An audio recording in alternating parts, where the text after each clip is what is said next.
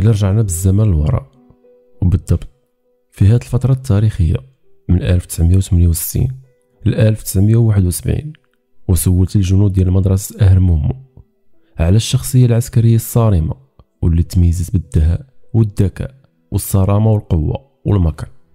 فغيجاوبوك بدون تردد الكولونيل محمد عبابو. فشكون هو محمد عبابو؟ وكيفاش كان كيتعامل مع الجنود؟ وكيفاش رجع مدرسة أهل مومو مدرسة نموذجية؟ وكيفاش جاتو فكرة انقلاب وكيفاش نفذ هذا الانقلاب؟ وكيفاش كانت النهاية ديال هذا الانقلاب؟ وكيفاش كانت النهاية ديال عبابو فإلا بغيتي تعرف هاد الأحداث المشوقة فما عليك إلا تتبع معنا الفيديو حتى النهاية. محمد عبابو تزاد بمنطقة أقلون نواحي شمال تازة سنة 1935 وكان الأب ديالو شيخ القبيلة. الشي اللي خلى عبابو ما يكونش بحال باقي ولاد الدوار. وعواد يقرأ في المسجد فالاب ديالو بصفتو شيخ القبيلة.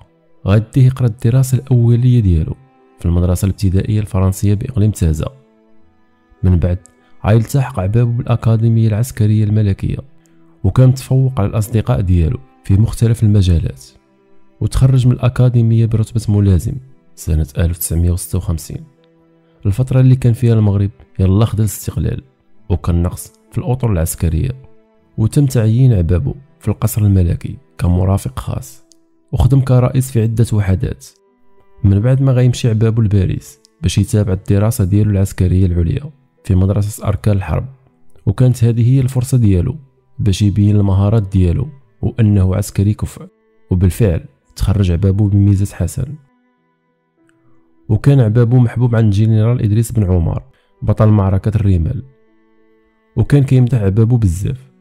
وحسب بعض الشهادات فالجنرال بن عمر تلقى رسالة من مدرسة أركان الحرب بباريس اللي فيها الثناء على عبابو والكفاءة ديالو. الشي اللي خلى الجنرال بن عمر يحط العين على عبابو ويراقب التحركات ديالو.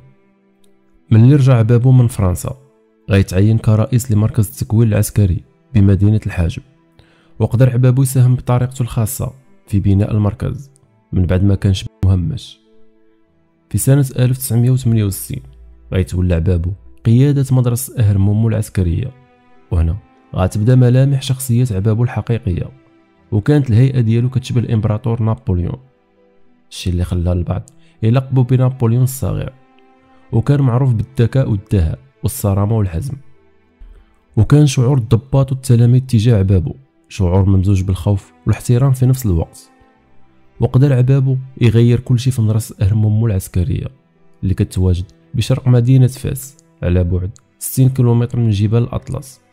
فبالفضل ديال النظام عبابو الصارم والتجارب اللي راكمها والتكوينات اللي تلقاها خاصة في مدرسة أركان الحرب بباريس. قدر يرجع مدرسة أهل مومو مدرسة نموذجية كتوفر على تجهيزات فريدة من نوعها بحال خزان المياه اللي كيطل على المسبح وقاعات لتعلم اللغات. ومختبر للعلوم الطبيعية وقاعات المحاضرات والملاعب الرياضية. وولات هاد المدرسة مشهورة داخل وخارج أرض الوطن وحسب بعض الروايات فالجنرال بن عمر غيدير زيارة مدرسة أهرمومو وغيتفاجئ من هاد التغيير الكبير اللي طرأ على المدرسة. وهنا غيعطي لعبابو الضوء الأخضر باش يكون حر في التصرف. ولعل هادشي اللي شار ليه محمد الرئيس في المذكرات ديالو.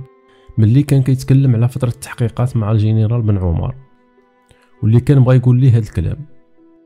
مون جنرال لقد طرحت علي هذا السؤال وأسمح لي بدوري أن أسألك. كيف وصل عبابو إلى قمة الهرم؟ رغم وجود عشرات ضباط الشبان الحيويين والأكفاء يفوقونه كفاءة. ضباط مغاربة بالمعنى الحقيقي للكلمة تفتخر بهم القوات المسلحة الملكية. ضباط نزهاء أصفياء واعون بصراحة إن لم تكونوا على علم بأن عبابوليس يزور الحسابات ويزور الفواتير ويسرق عتاد الدولة ويقوم أصحابه بالسرقة ليلا لماذا غديتم الطرف؟ كل الجيش يعلم ذلك وأنتم أيضا. وبالفعل فعبابو كان معروف بالسطو ومجموعة من الخروقات وانتهاكات حتى أنه كان كينتهك القوانين العسكرية ومن بين هاد الانتهاكات اللي كان كيديرها عبابو زيادة عدد التلاميذ من 300 تلميذ ل 1500 تلميذ بلا ما ياخذ الإذن ولا الموافقة من المكتب الثالث لهيئة الأركان العامة للقوات المسلحة. هذا المكتب اللي كان كيشرف على كاع المؤسسات التكوين العسكري في البلاد. الشيء اللي خلاه يكون واحد الاكتضاد في غرف التلاميذ. ومن بين التجاوزات اللي كان كيديرها عبابو أنه شكل فرقة كتكون من الجنود والضباط الأقوياء بقيادة عقا حروش واللي كانت كتسمى بالمافيا. كانت المهمة ديالها هي الخروج بالشاحنات في الليل وسرقة مواد البناء والمواشي والخشب لدرجة أنه في واحد اليوم جابوا خلاط وآلة حفر باش يصاوبوا بها مسبح في المدرسة. والأغرب من هذا الشيء أن عبابو حول واحد المجرى ديال المياه لفائدة المدرسة. وبالرغم من العديد من الشكاوى إلا أن هاد الشكاوى مشات في مهب الريح حيث عبابو كانت عنده سلطة وكيتضرب ليه ألف حساب. وكان كينال تعاطف الجنرالات اللي كيعرض عليهم ويدير حفلات بالمشوي والشيخات. كان عبابو غادي بالمنطق الميكيافيلي الغاية تبرر الوسيلة. وكان عايش بخلفية وتوجه مادي وكيأكد هذا الشيء الكلام اللي حكاه محمد الرئيس في المذكرات ديالو ملي قال عبابو كان صاحب طموح كبير لا يتراجع عن أي سبب. لا يثق في أي كان وانطوائي نوعا ما حتى مع عائلته. كان لا يؤمن بأي شيء مادي حتى النخاع. وأتذكر حادثة وقعت قبل شهر من قلاب الصخيرات فقد أيقظه الحارس الليلي ومساعديه وأخبروا أنه رأوا بغلة المقابر تدخل بيته. وقد أكدوا له بأنهم شاهدوها تجر سلسلة طويلة مشدودة إلى قائمتها الأخيرة. انفجر عباب ضاحكا. وسألهم هل كانت بيضاء أم سوداء؟ أجاب المرعوبون الثلاث بأنها بيضاء. فقال لهم لا يهم في المرة القادمة اربطوها لنقل المؤونة. أيها الأغبياء لا يوجد شياطين ولا جن إن شيطانكم هو أنا في المرة القادمة. سأودعكم في السجن كلكم أجابه أشجعهم لكن من كولونيل هذا فعل سيء لك كلنا تحت رحمة الله. ونحن بشر ضعفاء. فرد عليه عبابه أنتم ممكن أما أنا فلا. لا أؤمن بأي شيء إلا أنا. وكي أكد هادشي كذلك حدث آخر. كيقول محمد الرئيس مرت جنازة أمام التكنة في صفرو. فالتفت نحونا عبابه وسأل القبطان الشلاط أتساءل لماذا نأتي إلى الحياة؟ إذا كنا سنموت. فأجابه الشلاط هذه سنة الحياة. وقد شاءها الله على هذا الحال. والحياة فوق الأرض عابرة لأن الحياة الحقيقية هي الحياة الآخرة. وبعد الصراط هناك من يدخل الجنة وهناك من يدخل النار. فرد عليه عبابه في رأيي لا حياة بعد الموت. هناك العدم واللا نهائي. عالمنا هو الجحيم للبؤساء والجنة للأغنياء. وعندما نموت يكون ذلك إلى الأبد. ثم التفت نحوي مبتسما وسألني ما هو رأيك الرئيس؟ عندما يصبح جسمك تراب هل تعتقد أنك ستحيا من جديد؟ أجبته بطبيعة الحال لأن هناك البعث والنشور. فعلق قائلا أتمنى ألا أموت. ولا أعتقد أني سأموت لأنني أنوي البقاء على قيد الحياة لمدة طويلة وسنرى وكان عبابو في بداية المسار ديالو المهني. كيمتاز بالحيوية والإرادة والكفاءة وكان كلشي كيتنبأ ليه بمستقبل زاهر وكان كلشي كيرشحو يكون في منصب وزير الدفاع.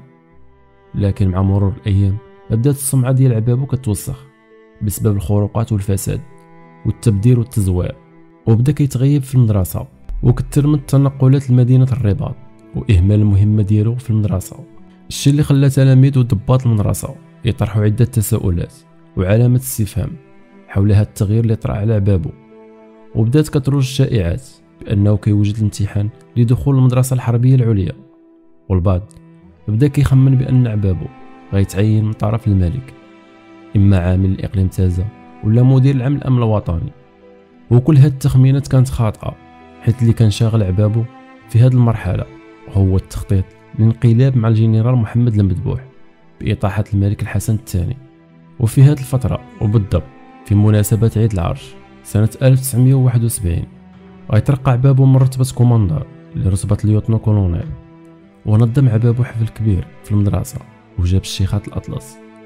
ومن بعد أسبوع غينظموا الضباط حفل في مطعم الجنون وهداو فيه نياشين وقبعة ذهبية للعبابو الهدية اللي فرحت عبابو بزاف وخطف فيهم بهذا الخطاب. لقد أهديتموني هدية ذهبية. وأتمنى لكم صادقا. مسارا مهنيا ذهبيا ولامعا مثل الهدية. وأتمنى أيضا أن تتحقق أمانيكم حتى تتكلل مجهوداتنا في يوم من الأيام بالنجاح والمجد. وغينظم مركز التدريب بمدينة صفرو اللي كان ملحق للمدرسة. غينظم حفل صغير على شرف عبابو. وألقى فيه عبابو خطاب كيواعد فيه الحضور بمستقبل زاهر. وفي بداية شهر مارس غيعطي عبابو الأوامر لأطر مدرسة أهرمومو باش يساليو البرنامج الدراسي والتدريبي قبل شهر ماي. وبالفعل غيساليو البرنامج في شهر ماي. وفي جوج ماي غيخبرهم عبابو بأن المدرسة غتشارك في مناورة كبرى بمدينة الحاجب واللي غيحضر لها الملك الحسن الثاني في موكب ملكي من مدينة فاس. بمناسبة ذكرى إنشاء القوات المسلحة وطلب منهم يستعدوا مزيان. باش يشرفوا المدرسة. وفي 13 ماي طلب منهم عبابو يشكلوا 15 كوموندوات. وكل كوموندو كيتكون من 40 تلميذ كيرأسهم ضابط وكيساعدوا ضابط صف. وطلب منهم كذلك يشكلوا فصيلة خاصة اللي كتكون من الضباط وضباط الصف. وتم تزويدهم بسيارات جيب وأسلحة ثقيلة. كان في الاعتقاد ديالهم أن المهمة هي القيام بمناورة بمدينة الحاجب. لكن الحقيقة اللي خفى عليهم عبابو هي أنهم متوجهين باش ينفذوا انقلاب عسكري وكانت المهمة هي نصب كامل الموكب الملكي بعين شكاك. أما الفصيلة الخاصة اللي كتكون من الضباط وضباط الصف فكانت المهمة ديالها هي محاصرة المنصة الرسمية بالحاجب والقضاء على أي محاولة محتملة. ويوم 14 ماي كانت مدرسة أهل مومو على استعداد تام باش ينطلقوا المهمة اللي تكلفوا بها. لكن في آخر لحظة غيتصل المذبوح بعبابو وطلب منه يتراجع على هذه المحاولة الانقلابية حيت شاف الدوائر الأمنية كدير بالمروحية عملية استكشاف وفحص الطريق اللي غيدوز منها الموكب الملكي وخاف الدوائر الأمنية تكتشف الفخ اللي غينصبو عبابو واكتشف أمر انقلاب ملي توصل عبابو بهاد الأخبار طلب من مدير الدراسات القبطان بالكبير يمشي لنادي الضباط بمدرسة أهل مومو ويخبرهم بأنه وقع واحد طارئ وأنه عوض ما يتوجهوا لمدينة الحاجب للقيام بالمناورة. غيتوجهوا لمدينة صفرو. ويكتفيوا ببعض التمارين الحربية الخفيفة. وفي هذه المرحلة غيبدا المذبوح وعبابو كيفكروا في الوقت المناسب لتنفيذ الانقلاب وهنا غيختار يوم عيد ميلاد الملك اللي غيكون في 10 يوليوز 1971 بقصر سخيرات هاد المناسبة اللي غيكونوا حاضر ليها عدة شخصيات بارزة من الداخل والخارج.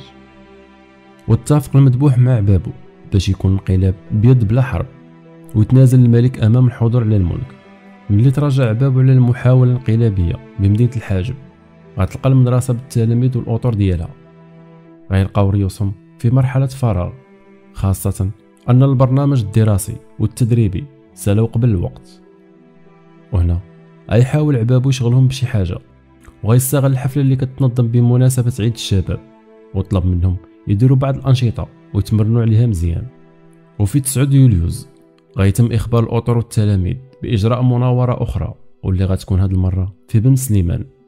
وتعطات الأوامر من عبابو باش يتم تشكيل 25 كوموندوات. كل كوموندو كيتكون من 40 تلميذ مخلطين من تلاميذ السنة الأولى والثانية والثالثة. وكان كيرأسهم ضابط. وكيساعدوا ضابط صف وطلب منهم يشكلوا فرقة خاصة اللي كتكون من الضباط وضباط الصف واللي غتكون في المقدمة وفي الفترة المسائية مع ستة تقريبا. فرقوا عليهم الأسلحة والأغذية المعلبة وكانت كل السيارات جاهزة في ساحة السلاح بالمدرسة. وكانوا الكوموندوات شادين الصف مع الرئيس ديالهم وكيتسناو الأمر باش يركبوا الشاحنات أما الضباط الفرقة الخاصة فكانوا مجموعين حدا سيارات جيب اللي كانت هازة المدافع والرشاشات. هذا المشهد المريب أثار الحيرة ديال نيوتن فورتاس وهو طبيب المدرسة جا في إطار المساعدة العسكرية الشيء اللي خلاه يتوجه بهذا السؤال للقبطان غلول. قل لي أيها القبطان لدي انطباع بأنكم تهيئون انقلابا. وهو يرد عليه غلول لا أيها اليوطنو بلادنا هادئة ومستقرة. ومع الساعة تقريبا غيوصل كل من الكولونيل محمد عبابو ومعاه الأخ الأكبر ديالو محمد عبابو جايين من مدينة فاس بلباسهم المدني. ملي دارت الوحدات الاستعراض قدامه غيطلب منهم يركبوا في الشاحنات وطلب من الضباط يلتحقوا بالقاعة الشرفية باش يديروا اجتماع غيبدأ عبابو في الخطاب ديالو بالتهنئة الضباط على الجدية في العمل وتحول الحديث على المناورة وقال لهم أنتم تعرفون الاحترام الذي أكنه لكم جميعا. والثقة التي أحملها لكل واحد منكم. لا يمكنني أن أتجاهل الاحترام والتقدير الذي تكنونه لشخصي. ستنظم مناورة ببن سليمان. عادة تقوم كتيبة بهذا التمرين. لكنني صارعت كثيرا لتتكلف المدرسة بالعملية. لقد أقنعتهم بأن مدرستنا هي الأفضل من يقوم بهذه المهمة. ولهذا أعول عليكم حتى تنجح المناورة. أتمنى أن يكون الجميع على استعداد وإذا ما وجد بينكم من هو على مرض وعاجز على القيام بالمهمة فما عليه سوى الجهر بذلك وسأعفيه بدون ضغينة. هل لديكم أسئلة؟ وفي هذه اللحظة كل شيء غيبقى ساكت وغيهز محمد الرئيس صبعو غيشوف عبابو وغيضحك وغيقول له أش تما الرئيس؟ واش بغيتي تطلب شي حاجة؟ وغيبقى في الرئيس وقفة التحية وغيقول نعم مون كولونيل بغيت نعرف المهمة بالضبط وتعطينا الموضوع ديالها إلا كان ممكن حيث غيكون من الأفضل نطالعوا على المهمة والوضعية قبل ما نبداو فيها.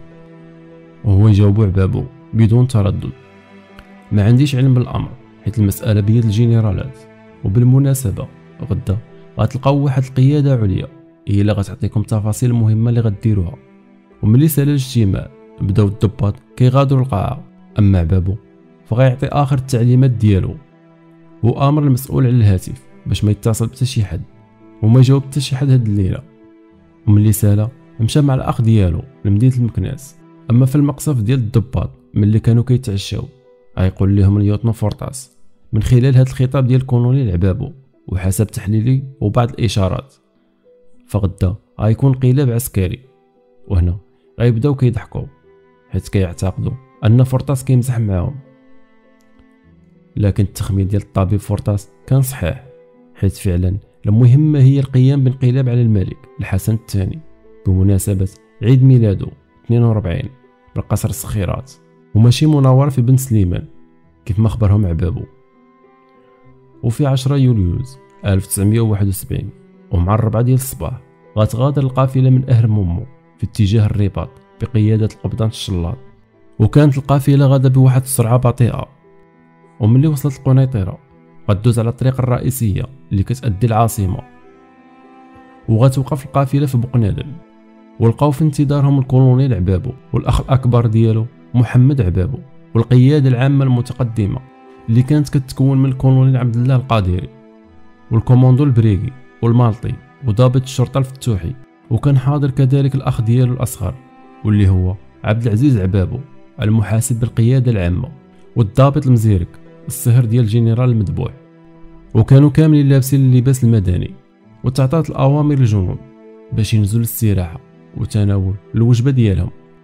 من بعد غينادي الكولونيل عبابو على الضباط وعلى القيادة العامة المتقدمة وهي القيادة اللي كان تكلم عليها عبابو في الاجتماع ديالو اللي داروا مع الضباط في مدرسة اهر مومو ملي قال لهم غدا غتلاقاو واحد القيادة عليا هي اللي غتحيطكم بالتفاصيل المهمة.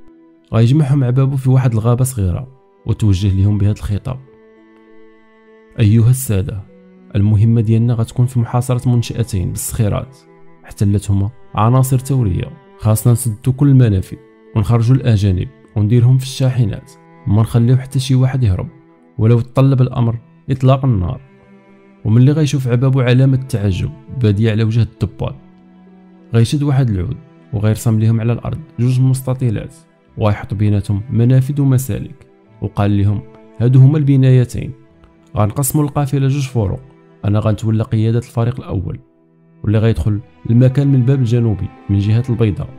أما الفريق الثاني فغيتولى القيادة ديالو الأخ ديالي. واللي غيدخل المكان من الباب الشمالي من جهة الرباط. وملي سال الاجتماع غيطلب عبابو من الضباط يلتحقوا بالجنود ويبلغوهم الأوامر ويكونوا على استعداد تام. وغيامر لجودان شاف بالمعقول يوزع البدلات الحربية والرشاش لكل واحد من الضباط السامين بالقيادة العليا المتقدمة. من بعد ما تم تنفيذ الأوامر غيلبس عبابو البدلة الحربية وغيركب السيارة ديالو باش يقود القافلة لاتجاه القصر سخيرات. متبوع بالكولونيل القادري وموراهم محمد عبابو اللي راكب في أول سيارة جيب للفاصلة الخاصة. في هذه اللحظة كانوا التلاميذ والضباط غادي لقصر الصخيرات على أساس مواجهة عناصر ثورية كيف ما أخبرهم عبابو لكن في الحقيقة بخلاف ذلك حيث القافلة موجهة للصخيرات باش تنفذ انقلاب كيف ما خطط ليه عبابو والمذبوح. وكانت هذه المرة الثانية اللي كيخدع فيها عبابو الجنود ديالو. غدوز القافلة على مدينة سلا وغتوصل للعاصمة الرباط وغتوجه مباشرة للصخيرات. ومع الجوج تقريبا وصلت القافلة للصخيرات. وبدا كيبان ليهم القصر الملكي. وكيف ما كان مخطط عبابو. غتدخل المجموعة الأولى من الباب الجنوبي بقيادة محمد عبابو وتوجه الباب الرئيسي للقصر. أما المجموعة الثانية اللي كانت بقيادة محمد عبابو فغتدخل من الباب الشمالي. وكان منع ومقاومة من حراس القصر. وكانت مواجهة دامية بين الكولونيل لوباريس ومحمد عبابو. وسالات هذه المواجهة بإصابة خطيرة للكولونيل لوباريس. اللي كان هاز يدو وفاتح على شكل صليب. كرسالة منه أنه غيحمي القصر والملك ولو تطلب الأمر للموت ديالو. ومن اللي شاف عبابو هذه المقاومة طلب من الرجال ديالو إطلاق النار بشكل عشوائي ويحاصروا القصر وما يخلوا حتى شي واحد يهرب. وهنا اندلعت موجة من الرصاص وبداو البعض الضيوف كيهربوا وجنود كيجروا في كل مكان وقعت فوضى عارمة.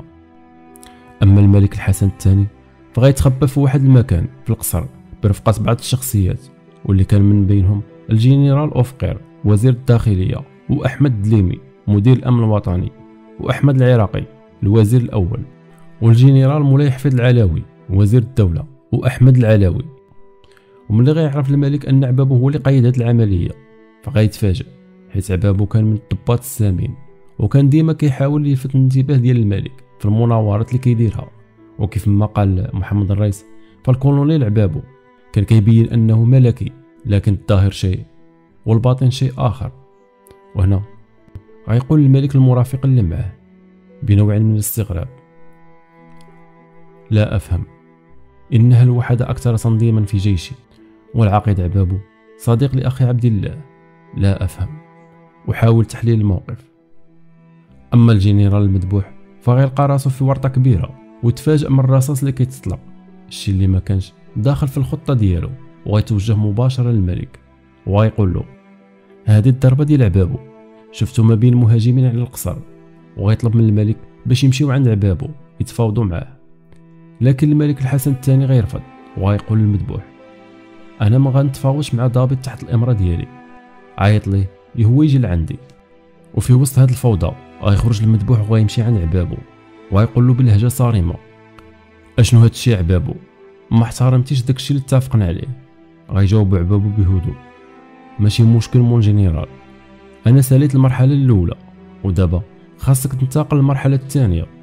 لكن الجنرال المذبوح غيجاوبو بغضب. حبس عليا هاد التخربيق. راه سبق وامرتك باش ما تطلق حتى شي رصاصة. غيجاوبو عبابو. نهار كبير هذا والرجال ديالي ناشطين. واش اليوم ماشي يوم عيد الملك؟ غيرد عليه المذبوح. هذا راه حمام دم وراك وسخ سيدي بالدم لكن عبابو غيجاوب بهدوء. اللي وقع وقع mon général فين هو الملك دابا؟ غيجاوب المذبوح. الملك في مكان آمن وبغى يشوفك باش يتكلم معك غيرد عليه عبابو. واش تنازل على الحكم mon général غيجاوب المذبوح. نعم والتنازل ديالو راه في جيبي. دابا خاصنا نتلاقاو مع الملك. غيرد عليه عبابو لكن mon général إلا استسلم. علاش غنشوفوه من الأفضل ننتقلوا للمرحلة الثالثة. لكن المذبوح غيلح عليه أنه يتلاقى بالملك. وملي عبابو شاف المذبوح مصر على رؤية الملك. غيقول له إلا كنا نتلاقاو مع الملك غيجيو معايا الرجال ديالي. لكن المذبوح غيرفض وغيقول عبابو لا الرجال ديالك غيبقاو على برا. وهنا غيبدأ عبابو كيشك في المذبوح وغيدير راسو أنه قبل يشوف الملك. وغيدخل المذبوح وموراه عبابو. وجوج خطوات غيغمز عبابو الرجال ديالو باش يتبعوه وملي دخلوا القصر غيدور المذبوح عن الجنود وغيامرهم باش يقلبوا في كل مكان ويخرجوا المتواجدين في الداخل. وغيدور عند عبابو وغيقول له ما فيها شك الملك غيكون هنا وغتلقاوه بأي طريقة. في هذه اللحظة غيتفاجئ عبابو من تصرف المذبوح وغيحس أن المذبوح كيخطط شي حاجة وغيسول المذبوح باستغراب لكن mon général حسب ما فهمت من الكلام اللي قلتي لي على برا أن الملك في مكان آمن وأنه تنازل. اذا هاد المرحلة ما كملتش. وأنت كذبتي عليا وخنتيني. غيرد عليه المذبوح. حتى أنت راك خنتيني. ملي فسدتي الخطة ديالي وغيرتي الأوامر اللي عطيتك. ما كانش عليك تخدم الرصاص والعنف. أنا كنت بغيت انقلاب بيض ماشي حمام دم. وفي هاد اللحظة اللي انصرف فيها المذبوح غيبقى بابو مصدوم. وغيحس بالغدر والخيانه من المذبوح. وهنا غيامر جوج من الرجال ديالو باش يتيروا في المذبوح. وفي اللحظة اللي غيطلقوا عليه النار غيكون الدكتور بن عيش خارج مع الأسرى وقريب من المذبوح وغيموت المذبوح وبن عيش في نفس اللحظة. وهنا كانت النهاية ديال المذبوح والبداية ديال فشل الانقلاب حيث المذبوح كان العقل المدبر أما عبابو فكان مجرد منفذ. وهنا غيولي عبابو هو اللي قايد الانقلاب في هذه المرحلة. وغيقودو برعونة وتهور كبير. وكيف ما غنشوفو غيمشي عبابو وغيقف أمام الجثه ديال المذبوح. وغيقول كتستاهل هادشي اللي وقع لك ومباشرة غيتوجه بابو لعند الجنود وغيطلب منهم يدخلوا القصر ويديروا الأجانب في الشاحنات. وغيتجمعوا الضيوف فيهم اللي شاد الصف وفيهم اللي جالس على ركابي. في هذه اللحظة غيبدأ بابو كيتأمل في الضيوف. وهو يبان ليه الجنرال الغرباوي قائد لواء المدرعات وغيمشي عنده عبابو ودخل معاه في حوار طويل باش يقنعو ينضم ليه. لكن الغرباوي بقى ثابت على الموقف ديالو في هذه اللحظة اللي دار فيها عبابو باش يعطي الأوامر للجنود غيغمز الغرباوي أحد الضباط باش يمد السلاح. وفي هذه اللحظة غيدور عبابو وغيتيري في الضابط وفي الغرباوي اللي غيموت في البلاصة. وهنا غيبداو يحتجوا بعض الدبلوماسيين الاجانب ويغوتوا غيشوف فيهم عبابو وغيقول لهم تكالماو ما تخافوش قريب غناخدو بيديكم. وحسب بعض الشهود الكولونيل عبابو قال بمرة لأحد الأقرباء ديالو قريب غنبيع جلدي غالي. وفي الجانب الآخر كانوا أربعة الجنرالات واللي هما الجنرال حمو أمحزون والجنرال مصطفى أمحراش والجنرال محمد حبيبي والجنرال بوغرين بالإضافة للكولونيل بولحميس ملي غيشوف عبابو بولحميس غيبتسم ابتسامة شامتة وغيقول له نهار كبير هذا كولونيل جيتي تا لقدامي شحال تسنيت هاد الفرصة. العالم صغير الكولونيل كان الكولونيل بولحميس عارف أن عبابو ما غيرحموش حيت كانت بيناتهم عداوة. ورغم ذلك بقى الكولونيل بوحميس كيزاوق ويترجى في عبابو لكن بدون جدوى. وغيامر عبابو أحد الرجال يتيري فيه. وغيطوع أحد التلاميذ وغيتيري في ظهر بوالحميس اللي غيطيح في الأرض. من بعد دقيقة غيقول واحد من التلاميذ لعبابو mon colonel راه مازال كيتنفس. غيرجع عبابو ويحط رجليه على راس بوالحميس ويقول للتلميذ تيري هنا هكا كيكون قتل من بعد غيمشي عبابو عند جنرالات الربعة ويقول لهم بأن الانقلاب نجح وأن المذبوح مات برصاصة طائشة وأنه قريب يمشي للرباط باش يشكل مجلس الثورة. وعرض عليهم ينضموا ليه باش يكونوا جزء من مجلس الثورة لكن غيبقاو ساكتين. إلا الجنرال حمو اللي قال له هادشي ما عنده معنى هذا راه لعب الدراري. أنا ما متفقش معاك.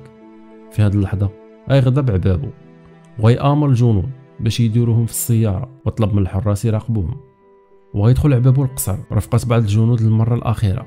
وبداو كيقلبوا على الملك وملي ما لقاوش مشى عبابو لعند القبطان بوجمعة. اللي كان مساعد الأمير مولاي عبد الله وغيسولو على الملك لكن ملي ما غيلقاش جواب من القبطان بوجمعة غيشك أن بوجمعة كيكذب عليه وطلب من الرئيس باش يقتلو. في هذه اللحظة غيلتحق محمد عبابو اللي كان قائد المجموعة الثانية في الجهة الشمالية ودخل في نقاش مع الأخ ديالو الكولونيل محمد عبابو وناقش أمور الرهائن وتشكيل مجلس الثورة. وفي نهاية هذا النقاش غيطلب عبابو من الأخ ديالو يبقى في القصر. باش يشرف على العملية ويواصل البحث على الملك ويخلي معاه جوج كوموندوات. أما عبابو فغيركب السيارة ديالو وغيامر الرجال ديالو يركبوا الشاحنات باش يتوجهوا للرباط ودا معاه الجنرالات الربعة. غينطلق عبابو موراه القافلة ديالو متوجهين للرباط باش يسيطروا على القيادة العليا وعلى الإذاعة والتلفازة واحتلال وزارة الداخلية ومخليين وراهم في قصر الصخيرات مجزرة اللي خلفت العديد من الجرحى والقتلى وملي وصلت القافلة الرباط غيوزع عبابو المهام وغيكلف عبابو القبطان الشلواطي بالسيطرة على الإذاعة والتلفازة. ويرسل الكوموندو باش يدمروا المحطات البث وتكلف بهذه المهمة ال sous-lieutenant مجاهد لكن مجاهد ملي وصل لمحطة البث اتفق مع المسؤولين باش ما يخدموش الأجهزة في مقابل ما يهرسوش الأجهزة. ورجع مجاهد لأهرمومو وغيأمر عبابو كل من ال lieutenant عبد السلام حيفي. وال sous-lieutenant اليقيدي باش يحتلوا وزارة الداخلية ويديو معاهم جوج كوموندو. أما عبابو فغيتوجه لمقر القيادة العامة ويكلف محمد الرئيس باش يحتل مقر القيادة العامة للقوات المسلحة الملكية ويرافقوا في هذه المهمة كل من الشلواطي وبوبري ويديو معاهم كوموندو. غيتكلف الشلواطي باحتلال مركز البث والاتصال والمركز الهاتفي. أما بوبري فغيستولي على مخزن العتاد والذخيره أما الرئيس فغيوزع الرجال ديالو اللي كانوا كيشكلوا الكوموندو ووزعهم على النقط الحساسة وغيدير تقرير على العملية باش يسلموا لعبابو. وملي خدا عبابو التقرير من عند الرئيس غيامر الجنود باش يهجموا على القيادة العامة من الباب الكبير. وهنا غيبدأ تبادل إطلاق النار بين المتآمرين والمدافعين عن النظام. هاد المواجهة اللي ما دامش بزاف وغيهرسوا الجنود الباب ومنهم لا يقفز من الحيط. وغيتم السيطرة على القيادة العامة. من بعد ما استسلموا أفراد الجيش اللي كانوا كيحميو القيادة. ويتم عقد اجتماع في المكتب الثالث من طرف عبابو واللي كان حاضر ليه كل من الشلواطي والمالطي وبوبري. خبرهم عبابو بالوضع الحالي. من بعد ما رجعوا القيادة العامة غيوصل في هذه اللحظة الكولونيل محمد عبابو اللي جا من الصخيرات وغيتوجه لعند الأخ ديالو محمد عبابو وغيدور بيناتهم نقاش حاد. حيت عبابو كان مكلفو بالبقاء في القصر والبحث على الملك وجا الرباط بلا إذن ولا استشارة من محمد عبابو. وملي سأل النقاش بيناتهم غيهد عبابو الوضع وغيطلب من محمد عبابو باش يتحايل على ليوتنو كولونيل سعد الفيلالي. وغيطلب منه يخلي الفيلق المدرعات رهن إشارة عبابو. وآمرو كذلك باش يرسل برقيات لكل وحدات الجيش ويطلب منهم يمتثلوا الأوامر مجلس الثورة اللي كان برئاسة الكولونيل الشلواطي. من بعد ما تمت السيطرة على الوضع من طرف عبابو الجنود ديالو غيجيب عبابو الجنرالات الربعة حمو وأمحارش وحبيبي وبوغري وتكلم معاهم ووزع عليهم المهام وطلب من حمو يلتحق بالقنيطرة باش يستلم زمام الأمور ويدير الوحدات العسكرية ديالها تحت قيادة مجلس الثورة وتوجه عبابو لمقر الإذاعة والتلفازة واللي كانت كيحرصها أفراد من قوة التدخل السريع اليوتنو محمد طيب. رئيس الفرقة المكلفة بحماية الإذاعة والتلفازة اللي حاول يمنع عبابو والرجال ديالو من الدخول. وفي الأخير غيقتلو عبابو من يطلق عليه رصاص. وبدات مواجهة عنيفة بين الرجال ديال عبابو وأفراد التدخل السريع. ودامت المواجهة عشرين دقيقة تقريبا. وملي تم القضاء على المقاومة ودخل عبابو باش يتكلم مع المسؤولين. وطلب منهم يوقفوا بث البرامج. ويعوضوها بالموسيقى العسكرية. وطلب عبابو من الملحن عبد السلام.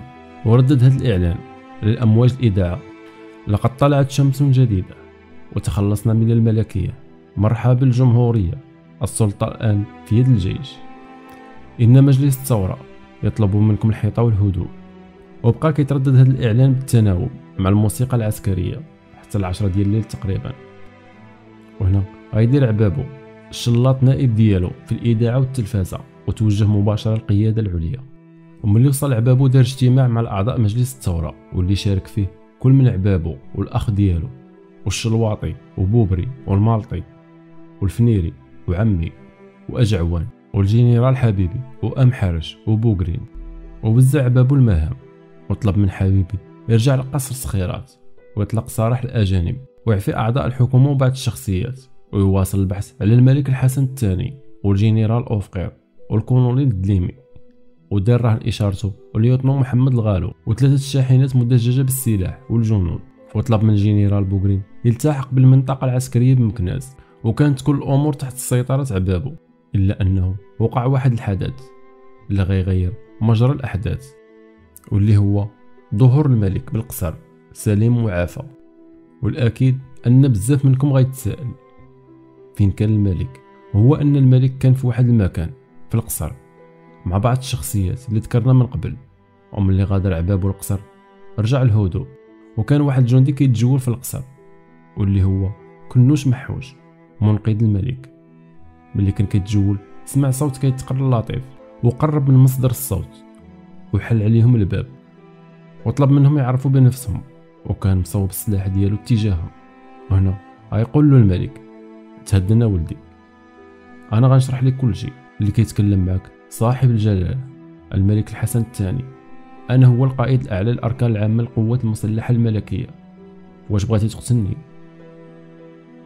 واش وليتو كلكم حماق وهنا غيبدا السرجان كنوش محوش كيرتعش وبدا الخوف كيسيطر عليه خاصة أنه كان مصوب الرشاش ديالو في وجه الملك. وهنا غيأدي كنوش محوش التحية العسكرية وغيقبل اليد ديال الملك الحسن الثاني. من بعد غيطلب من كنوش يجيب باقي الجنود اللي معاه. وتجمعوا بداو كيقراو معاهم سورة الفاتحة بصوت عالي. وبداو كيلتحقوا باقي الجنود. وكيصيحوا بصوت عالي. عاش الملك. وبدا الحسن الثاني كيطرح بعض الأسئلة على الجنود.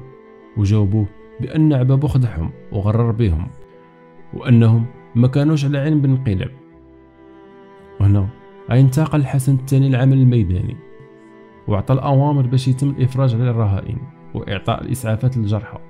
وإخراج الجثث وكلف الجنرال أوفقير باش ينهي الانقلاب وإلقاء القبض على المشاركين وطلب من الجنرال بشير البوهالي يقمع هذا التمرد ويكسر شوكة الانقلاب. ومشى البشير البوهالي لبن سليمان باش يجيب قوة الدعم الضرورية وتوجه العاصمة باش يقوم بالمهمة ديالو. أما الكونيل عبابو فكان التعب سيطر عليه بالإضافة للألم ديال الدراع ديالو بسبب الرصاصة اللي تصاب بها في السخيرات وغيجيبوا ليه طبيب مولاي باش يخرج منه الرصاصة. ومن بعد هاد العملية طلب من الضابط أزندور. وقال له سير وقول للضباط يجيو لعندي. بغيت ندوي معاهم. حيت في الحقيقة أنا آسف على توريط الوحدة ديالي في هاد العملية القادرة. لكن في اللحظة اللي غيتوجه فيها أزندور باش ينادي على الضباط.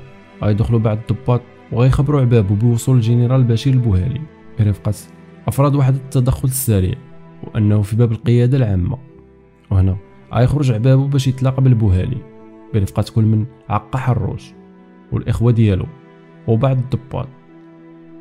ملي تلاقى عبابو بالبوهالي ومشى كل واحد فيهم في اتجاه الآخر بحذر ويوقفوا في نفس اللحظة وكل واحد فيهم حاط يدو على الزناد ومصوب السلاح ديالو في اتجاه الآخر. وغيبدا البوهالي بالكلام شنو كدير هنا الحقير؟ خرج من القيادة. غيجاوبو عبابو أنا في المكان ديالي أنت اللي خاصك تخرج الغبي غيرد عليه البوهالي. راك خسرتي. استسلم الحقير. وهنا غيلتاج العبابو للدبلوماسية ويقول عبابو بغيت ندوي معاك. وما فيها شك. غنوصلوا لشي حل. غيرفض البوهالي عرض عبابو وغيقول له استسلم وعطي الأمر الرجال ديالك باش يستسلموا ويحطوا السلاح. إلا بغيتو تبقاو حيين. في هاد اللحظة غيحس كل واحد فيهم بالخطر تجاه الآخر. وفي نفس اللحظة غيطيروا في بعضياتهم. غيموت الجنرال بوهالي في البلاصة. أما عبابو فغيطيح والدم كيقطر منه وغيجمع القوة ديالو ويهز راسو بصعوبة ويقول الدراع الأيمن ديالو عقا حروش قتلني عقا.